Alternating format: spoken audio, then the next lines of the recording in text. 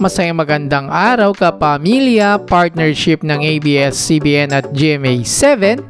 Ia-anunsyo na sa January 23, 2023, 12 noon.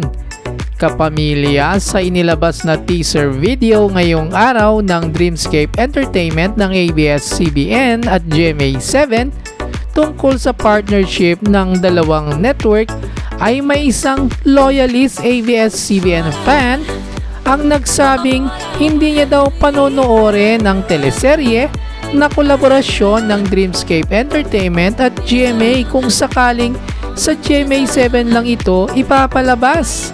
If ever matuloy yan at sa GMA lang ipapalabas, I'm sorry di ko pa din yan panonoodin. I'm not an artist fan, I'm a station ABS-CBN loyalist.